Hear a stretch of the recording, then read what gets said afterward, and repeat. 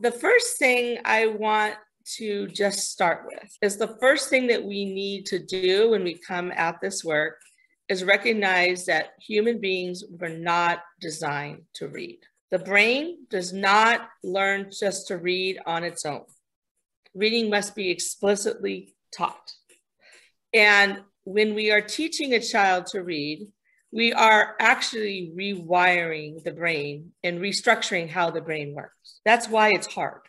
So I know you guys are familiar with the reading rope. We have talked about this um, before, and you guys have a lot of background knowledge on this, right? But that our goal is over here in a well, a child that can read, that can do world word recognition and comprehend the text. And this is where reading comprehension lands over here.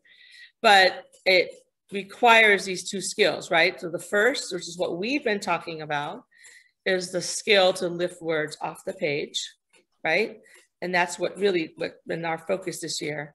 But equally as important is language comprehension. And I want to point out it's language comprehension, not reading comprehension. So we need to build the language needed for reading, and then we put these together for reading comprehension, which falls over here. And so the science of reading is based on 30, 30 years of research, easily 30 years of research. And um, these are some of the ones that I'm pulling from today, but they're all excellent.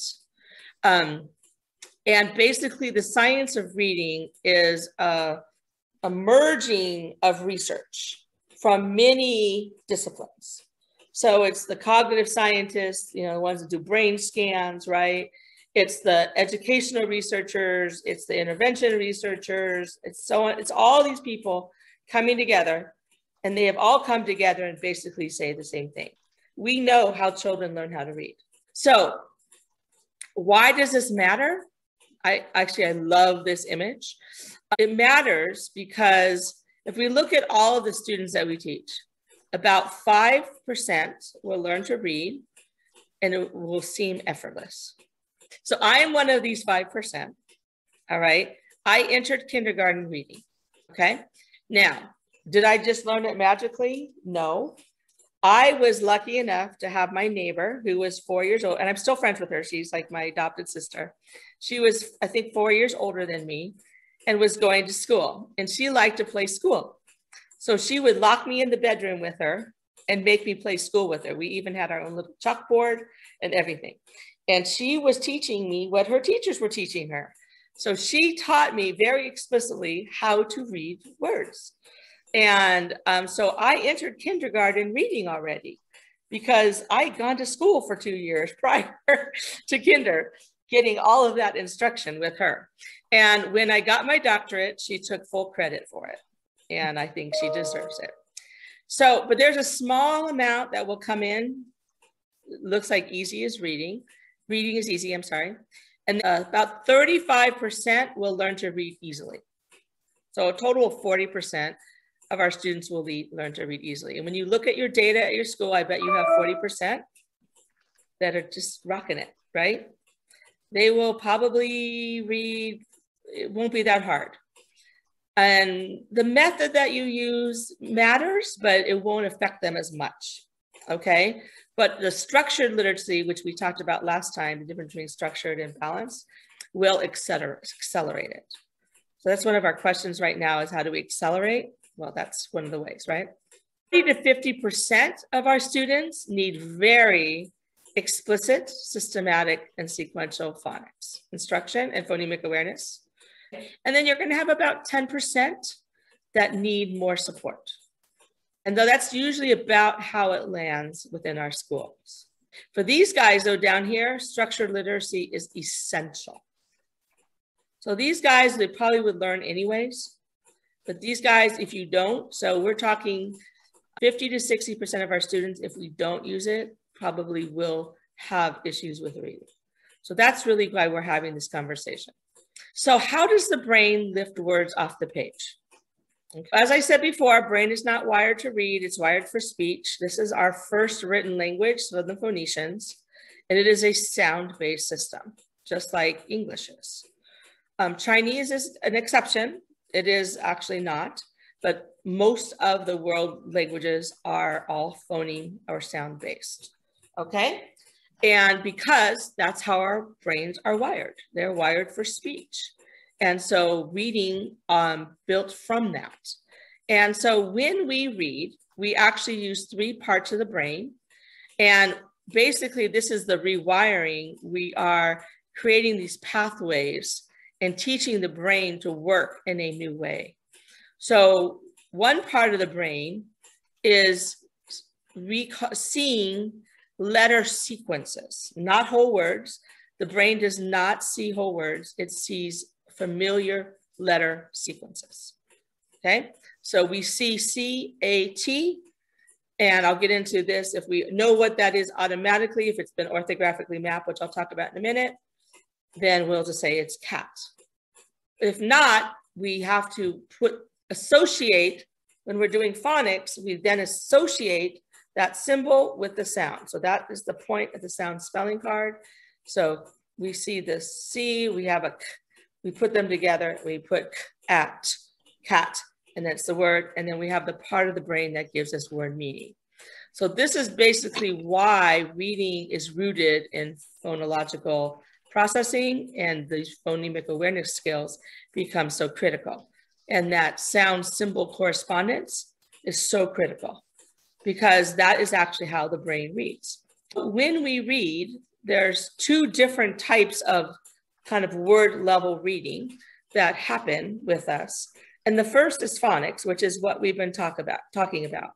So we have the skills to decode an unfamiliar word, right? So we see letters, we see a letter sequence, we associate those letters with the sound, right? Then we blend them, and then we are able to produce the word cat. And then we use the meaning, we know what a cat is, okay? The other aspect that we haven't talked that much about is actually something called orthographic mapping. And orthographic mapping is when we do that and the, the brain has done it enough times so that is automatic. And that is actually why we think we read by sight, but actually by sight words, but we actually don't. Because but when we've orthographically mapped, the brain has memorized that letter sequence into a familiar pattern. And then it knows with automaticity that this word right here is reading. That word is orthographically mapped in your brain. So it goes really, really fast and with automaticity. And then it becomes a sight word. So as proficient readers, we have 50,000 or more orthographically mapped words in our brains. Okay. But you are still never, the brain is never reading whole words. It's actually very quickly seeing CAT, says, I know CAT, that's cat, cat, and it's the word cat. And it does it really fast. So we aren't even aware of it. So let's give you an example. So I think you guys know I just came back from Hawaii a couple of days ago. And, you know, I'm always working even when I'm on vacation. And I started noticing a whole bunch of words that were not orthographically mapped in my brain. Words on the screen in these pictures are orthographically mapped for you. That means you read them with automaticity and you don't even have to think about it. Queen and freeway. Yep. right? I like this is perfect. Like this is an example. So this these two words right here are orthographically mapped. We just read them. We know what they are. There's no hesitation.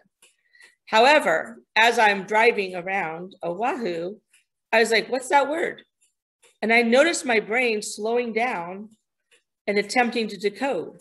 So basically, I was going back and forth between these two things.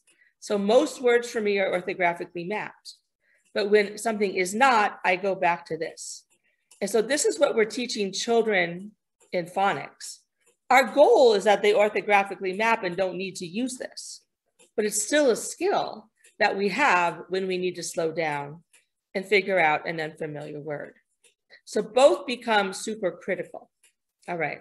So basically, this is what's happening. You have the three parts, you know, of the brain working together, and it's putting the three sounds to get this the sequence of letters connect to the sound, makes the word bed, and we connect it with meaning. And these three things are working together when we are reading. And that's basically what the brain does.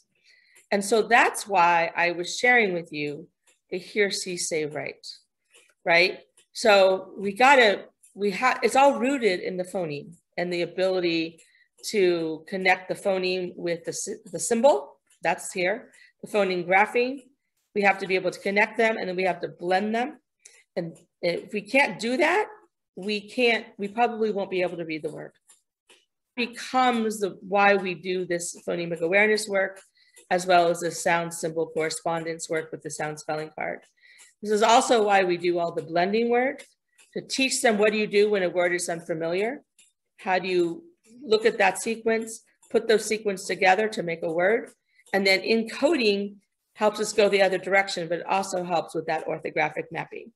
So the blending and the encoding help with the, uh, the say and the write, help us with the orthographic mapping. Out, orthographically mapped words are precognitive, right?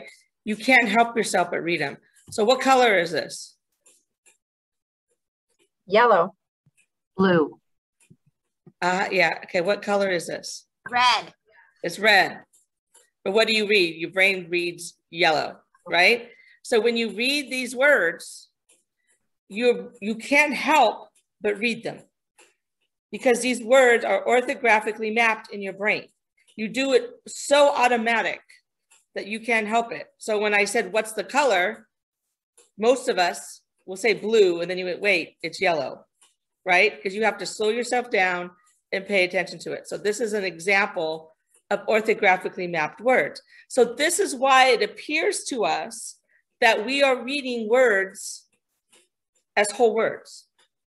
Because as proficient readers, they're orthographically mapped, right?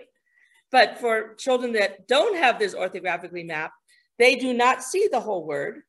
They, they have to do the individual sounds, right? The sequence of letters, blend them together to produce the word.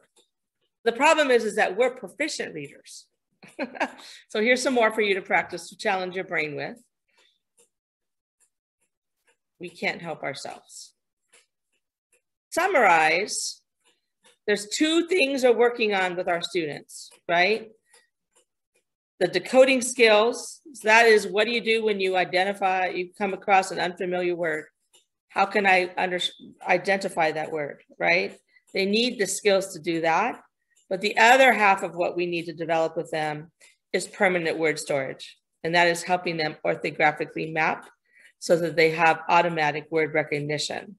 The thing is, is both of these, and we need both, like with those pictures from Hawaii, you had to go from here to here. You had to do both driven by our phonological skills, our phonemic skills, and our sound spelling correspondence.